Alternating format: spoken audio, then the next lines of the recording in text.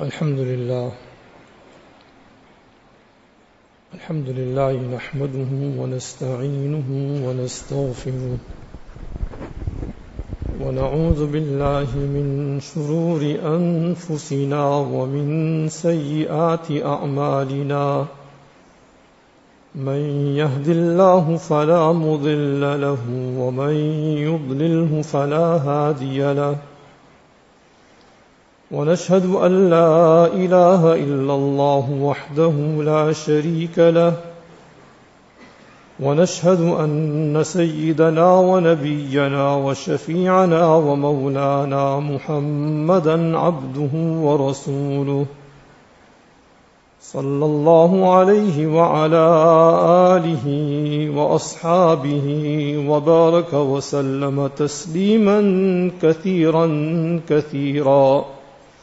أما بعد فقد قال الله تبارك وتعالى يا أيها الذين آمنوا ادخلوا في السلم كافة ولا تتبعوا خطوات الشيطان إنه لكم عدو مبين. صدق الله العظيم. Respected elders, brothers, Hazrat Muaz ibn Jabal radiallahu anhu is a leading Sahabi for Rasul Pak sallallahu alayhi wasallam to declare him as the a'lamuhum bil halali wal haram. Quite young at the time, and Rasul Pak sallallahu already confirms that he is the most educated in respect to matters of halal and haram. Then, apart from the knowledge and understanding of deen, Rasul Pak sallallahu held his hand and said, "Ana uhibbuka ya Muaz, O Muaz, I love you." So the knowledge is perfect, and the love of Rasul Pak is also complete. Now, this man here, Muaz he is posing a question to Rasul Pak sallallahu alayhi wasallam. So, can well imagine when the man's knowledge is perfect and his love is complete, so the question also will be very sound. It will be very comprehensive. So he asks Rasul Pak sallallahu teach me something that will get me into Jannat and save me from Jahannam. Simple it sounds, but it is, it's got everything. Everything is packed in this question. Rasul Pak's style way was, he will simplify, make things easy for people. So he said, you have asked for something very great, but Allah Pak wants to make it easy. It becomes very much easy. So the first requirement after Iman, obviously, is get your obligations right. Namaz, Roza, Zakat, Hajj, etc. Get that right. For first things come first, you will see to your obligations, your duties, rights of Allah Ta'ala and rights of people. Then will you look at nafal and mustahab. Now if you haven't done your obligations, and we are thinking of a nafal hajj, or doing some sadaqah work, then the priority is mixed up, confused. So get your obligations right. And the first obligation is get the iman right. Now, in this age and time, it's so very important to see and understand that the iman is not contaminated with anything, anything small or anything big.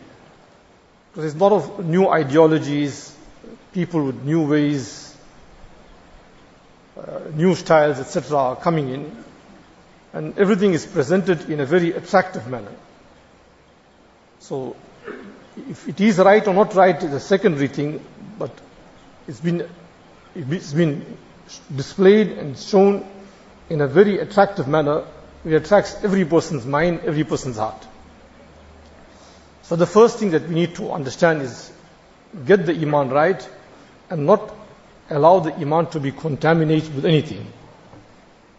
So the essence of Iman is we believe in everything that that's sent down by Allah Ta'ala and also believe in everything that has been explained to us by Rasulullah Sallallahu So that's the essence of Iman. So in that respect, we don't make any commissions, any additions. We see to it that that remains absolutely pure, not polluted. There's a bottle of water here. If there is just one drop of pisab, obviously nobody's going to drink it. No contamination. Right. So now, in this contamination process, understand, Iman, that when we talk about Allah Ta'ala, He is unique in His being, He is unique in His attributes. So He has got no partners in His being, He's got no partners in His attributes, He is unique Sometimes a question can come out that we have got certain qualities or certain attributes that Allah Ta'ala also has. Like we hear, we see, and Allah Ta'ala is Sami Basir. خلقنا الإنسان من نطفة فجعلناه سميعا بصيرا So there is a difference in the hearing of Allah Ta'ala and our hearing, in the sight of Allah Ta'ala and our sight. Allah Ta'ala's sight is eternal. there's no beginning and no end. And our side, the vision that we have got, is just lent to us by Allah Ta'ala. It's not ours. Like, I give you my car to use. So you can use the car, but it doesn't belong to you. For the faculties that we have got and we enjoy, whether external or internal, organs or the faculties that we have got, is all Allah Ta'ala's. And all He's asked us to see to it that فَيَنْظُرَ كَيْفَ تَعْمَلُونَ He wants to see that we use them correctly. Eyes we use correctly, the ears we use correctly, and every other faculty that He's blessed us, wealth, reputation, wife, children, etc., are all His gifts. So these gifts must be used, enjoyed, but managed correctly, not thinking that it is my own achievement. It's my achievement, it's of my doing. No. Understand it, that it is from Allah subhanahu wa ta'ala, it's just on hold, and I am here just to take, just to see that it is managed correctly. That's my trial. Uh, Musa alayhi salam, when he pleased to Allah Ta'ala at the time of Nubuwwat, so he says, وَأَشْرِكْهُ فِي أَمْرِي كَيْ نُسَبِّحَكَ كَثِيرًا وَنَذْكُرَكَ كَثِيرًا That join my brother Harun alayhi salam also in this mission of mine. And then why? What's the goal? What's the idea? That we glorify you in abundance and remember you in abundance. So with all the kamalat and all the perfection of nubuwwat, the Nabi also is showing what is the goal. The goal is nusabbihaka kathira wa nathkuraka kathira. Now understand what we say, what we mean when we say glorifying Allah Ta'ala. Then you will get your iman right. When we say we glorify Him in abundance, in other words, we are acknowledging and declaring that Allah Ta'ala bi'ib Allah Ta'ala is faultless. All the attributes of perfection are in Allah Ta'ala. There isn't an attribute of perfection that is not in Allah subhanahu wa ta'ala. All the attributes are of perfection are in Allah ta'ala. And by the same token you are saying that none of these things belong to me. It doesn't belong to me, it belongs to Allah ta'ala. So when we're saying subhanallah after every namaz, understand that this is what we are saying, that all that I see around me, whether it's wealth, wife, children, reputation, etc., it's not mine, it is just on hold. I'm supposed to, I am required to just see to it that I manage it rightly. Whether it's my time, whether it is my reputation, whether it's my profession, whatever it is, but it's on hold, it belongs to Allah Ta'ala, and I am required to see to it that I manage it correctly. So now this is Iman. Now, what are the benefits of Iman? Now understand that when a person declares the kalima, he says the iman, from that second onwards, his rewards are rolling. There isn't a moment that his rewards aren't rolling, it's just rolls. But for that to happen, you need to ensure that the iman is not contaminated. So if you want to see to it that my rewards are just continuous after Iman, then see to it that that Iman is not contaminated, not adulterated, not mixed up. Like any other act of ibadat, as long as you are doing that ibadat, then you are in reward. You are again reading, you're getting uh, credits, right? Uh, you're making tasbih. For as long as you're making tasbih, you're getting sawab. You kept a beard considering it to be the Mubarak Sunnah and the way of Rasulullah Pak So every second that the beard is on your face, you're getting sawab. For every second, whether you are in your bedroom with your family, whether you're in the toilet, whether you're asleep, whether you're in your business, whether you are in your mundane activities, whatever you are doing. But every moment that passes from there onwards, then it's all counted in sawab. So exactly the same, the root of all ibadat is iman. When that's the root of all ibadat, so for every second that passes on from that moment onwards, you're getting reward. So the importance of ensuring that the iman is right so that we don't deprive ourselves from that reward. So don't contaminate that iman with anything. So in, in the contamination process, it's not a, a forum now to discuss the details, but now one of the challenges of the day is أحلوا حلاله وحرموا حرامه. Whatever Allah Ta'ala has declared halal, count it as halal. And whatever He's declared as haram, then you regard it as haram. Don't you change the names, give it a glossy look, and give it some fancy name, and then make it seem to be halal. No, it's just my cousin, I can talk to her.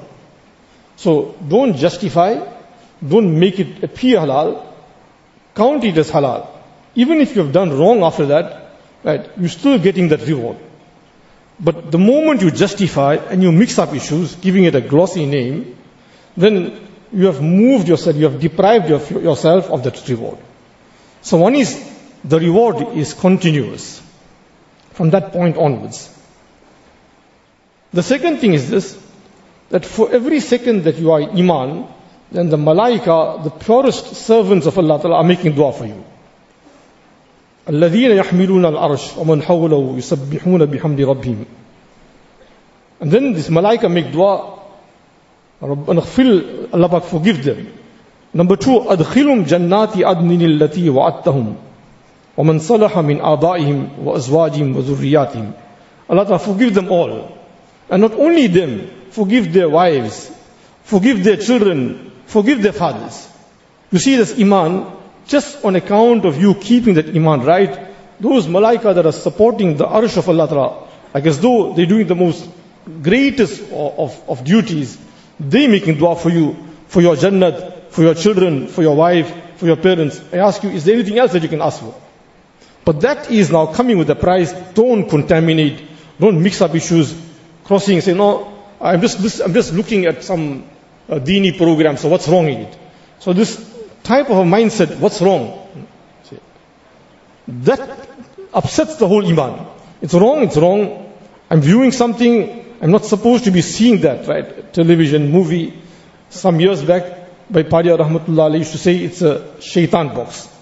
Shaitan box can't be a farishta box. If it's a shaitan box, whether it's in your pocket, whether it's strapped against the wall, it's a shaitan box, count it as haram. If you did it, make istighfar. But don't contaminate, don't say now, no, it's a dini program, if it was halal now, then if it was haram, then why are they appearing? Don't, don't make up stories. Haram is haram. Don't mix up issues. So the first thing is that you're getting sawab. Second, the malaika are making dua for you. Number three is this, the, the Ambiya, the best of the creation, the choicest creation, are making dua for you. Ibrahim alayhi salam makes dua, Rabbi Khfilli, Wali Walidayya, Walil Minna Yawma Yaqumul Hisab. Allah Ta'ala, not only me and my parents, but all the Muslims, from Adam alayhi salam right till then, forgive all. So you're getting, just because of that iman purity, you are blessed with the dua of the purest creation, you are blessed with the dua of the best of creations. Nuh alayhi salam says رب اغفر لي ولوالدي وَلِمَنْ دَخَلَ بَيْتِيَ مُؤْمِنًا وَلِلْمُؤْمِنِينَ وَالْمُؤْمِنَاتِ Again, me, my, my parents, and then everybody, every person, every Muslim, forgive him. So, the blessings, the virtues of seeing to it that, that Iman is right, not mixed up with anything. Right? Then this is the worldly advantage. The advantage in the hereafter, وَالَّذِينَ آمَنُوا وَاتَّبَعَتْهُمْ ذُرِّيَّتُهُمْ بِإِيمَانٍ أَلْحَقْنَا بِهِمْ ذُرِّيَّتَهُمْ وَمَا أَلَثْنَاهُمْ مِنْ عَمَلِهِمْ مِنْ شَيْءٍ Right? Now, Allah give us all Jannah, right? We are here. Why? We are working our way towards Jannah. We are in transit here, waiting for the plane to take us to Jannah. Aren't we waiting here? For the plane, that we jump onto the plane that must take us to Jannah, Allah give us all Jannah. But now say for example, your father, right, he worked himself. And because he worked himself, he strived, he did the right thing, Allah Ta'ala elevated him to the level thousand, right? Now you didn't use your time so fruitfully. As a result, you are in stage one. Now you come into Jannah, come into the hereafter, what will be the position? Father is in stage thousand, and you are at the stage one. What will happen? So Allah says, as long as your iman is right, وَالَّذِينَ آمَنُوا وَاتَّبَعَتْهُمْ ذُرِّيَّتُهُمْ بِإِيمَانٍ You got the iman right. You didn't contaminate. No matter what the friends, uh, what, uh, what was the pressure around you, all that, irrespective of the surrounding, etc., you are not concerned. But I, my iman, I don't want to, I don't want to experiment with my iman. You know, some years back, one youngster, I know, I knew, you know, he experimented, he saw the computer or internet, and he saw how to manufacture a bomb. So he went to try himself, and the thing exploded on him, he died. So a material thing and such a disaster, you can experiment. So Iman is not a thing to be experimenting, look into an internet and learn. There's some righteous, good alim, go and learn Iman. See through that that Iman is not contaminated with anything. So now what will be the position of such a person? He's come in the hereafter, and now his father is elevated to stage thousand, and he is at stage one. So now, if we're doing Indian business, it's all right, let's negotiate somewhere in between. So Allah doesn't know this Indian business. He said, no, no. I'll give you, I'll give you full. I'll elevate you from one to thousand. You, your children, I'll elevate all of them to the level of your father. Father was at stage thousand, I'll elevate all of you at that stage. Now that is just because of you securing, purifying, and not contaminating, not mixing the iman. It's a small price we are paying but the reward and the return is incredible. So we're coming back to the hadith of Mu'adh ibn Jabal radiallahu anhu. After the obligations, then he says, Rasulullah explains to him, alright, avenues, abwabul bir. So I'll show you that avenues. Fasting is a shield, it's a protection. See, people that fall into sensual gunas, right, lustful gunas, it's an overload of energy. And the proof of it that it's an overload of energy is just starve yourself for three days and see that, that what happens to that sensual pleasure. That girlfriend, everything is lost. Everything is forgotten. So when there's an overload of energy, it wants to express itself, and express itself halal haram is somewhere. So the right way is then just starve yourself from anything that can tempt you. Then the second thing Nabi Sam says, must I show you something also that will extinguish the wrath of Allah Ta'ala? And that is sadaqah. Make it a habit, some sadaqah we're giving to some poor person every day, according to our means, etc. Someone in the street. We have doubts, then give them something to eat, as a fruit or a sandwich, something that will go into the stomach and that will guard us against the wrath of Allah subhanahu wa ta'ala. Then the third thing, and then third thing, then tahajjud salat. Tatajafa junubhum anil madaji'i. Their sides are away from their beds, remembering Allah Ta'ala in the latter part, parts of the night, right? The early part of the morning. So that can happen nicely and consistently if after Isha, our next stopping point is the bed. After Isha, no chit chat. I ask you, for such a great reward, tahajjud namaz, the tahajjud namaz is like this, on the day of Qiyamah, when all the creation has been assembled on that plane. So Allah Pak will say that, must I show you today who are the people that are worthy of respect? Who are the people that, you know, we all like our reputation, we all like our respect, we don't want anybody to go on a smear campaign against us. We don't want anybody to, uh, to disgrace us.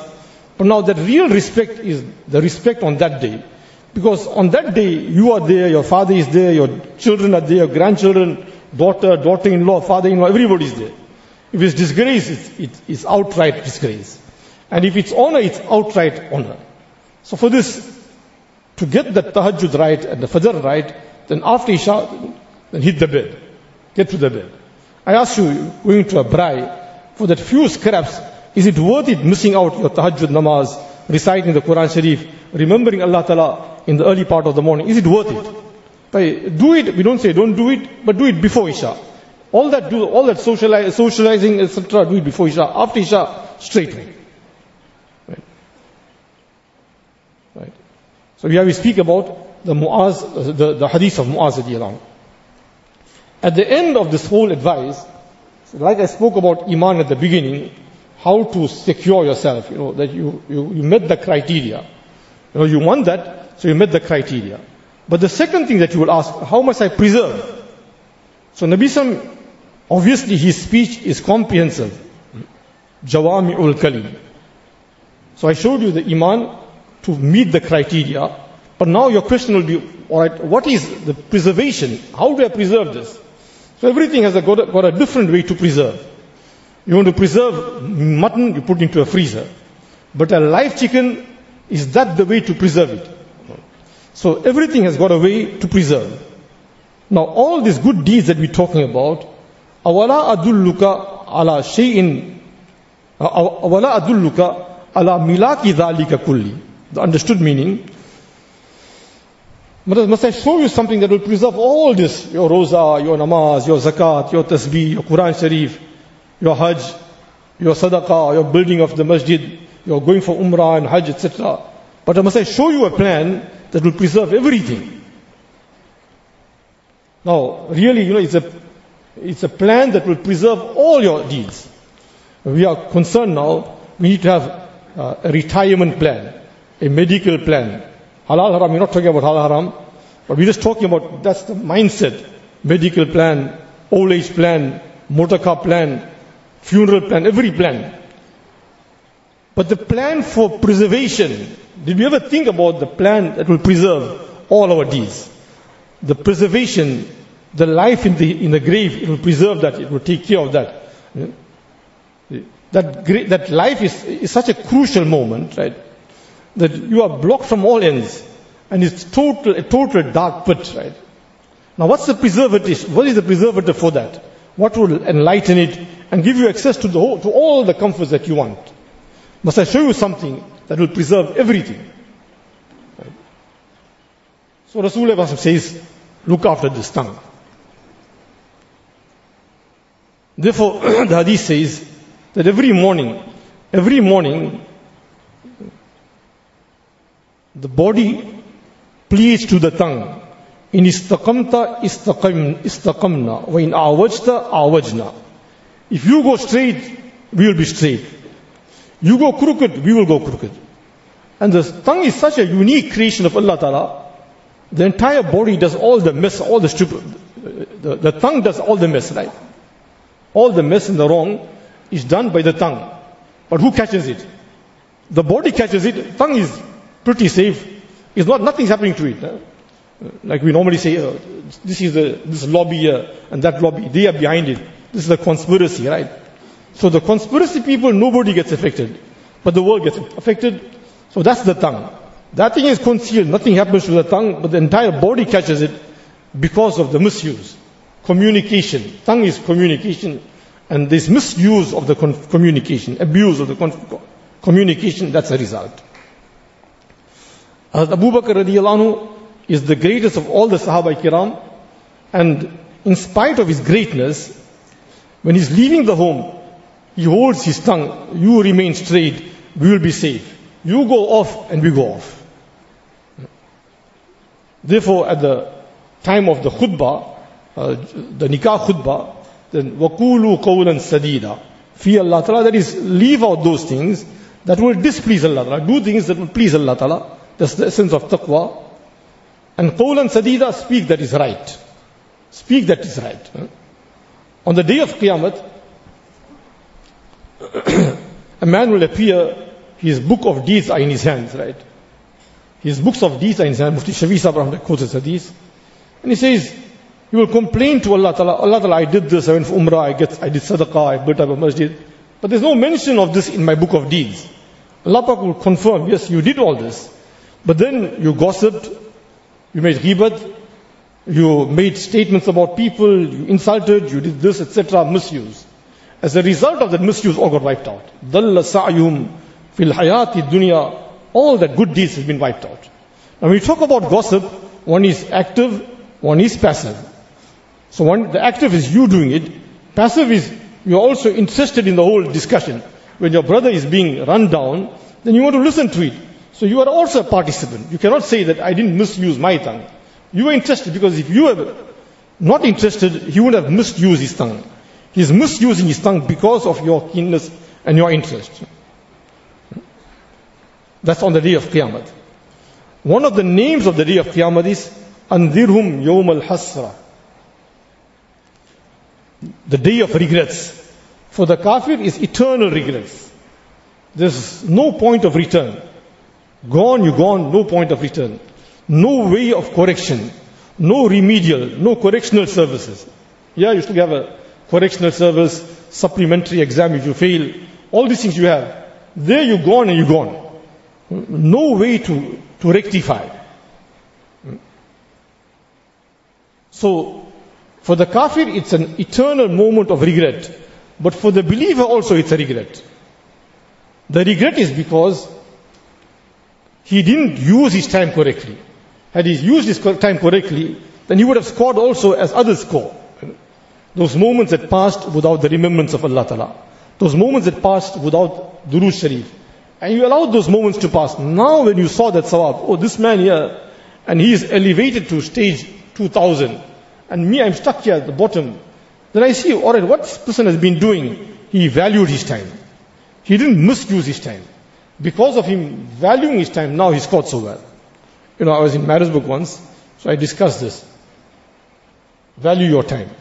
And I told him, simple, the simple thing that you could do is as you go into the masjid, returning from the masjid, going to work, returning from work, right? Going on a journey, tell the friends that are sitting with you, say, I don't mean to be impolite, I don't mean to be rude, but it's my routine that I sit in the car and I make zikr. Right? I read La ilaha illallah, that is the of, afdalu zikr. Best zikr is La ilaha illallah. So as you going to work, returning, going to masjid, returning, then make it your routine that you will recite La ilaha illallah. Simple thing. I met the man after about two, three years. So from that time till now, alhamdulillah, there isn't a day when I don't recite La ilaha illallah 2000 times daily. Now we say, kati wakat nikar hai. Where will you find the time? But uh, where there is a will, there is a way. Uh, you want to do a thing, you'll find the time, you'll find the occasion to do it. But if you block your mind, so no, I can't find the time, how, is, how can it happen? It's an impossibility. Then it becomes impossible.